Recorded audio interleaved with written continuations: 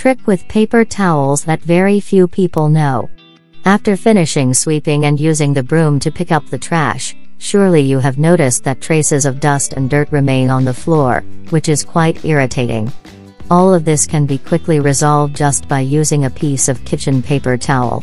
First you must moisten the entire edge of the paper a little, as I show you. Then we take the paper to where we were sweeping and stick the moist edge to the ground. Then with the broom we sweep the remains of dust onto the paper. The moistened paper will adhere to the floor, making it much easier for us to completely remove the dust. When you wipe with a cloth, you will notice that there is no dust left.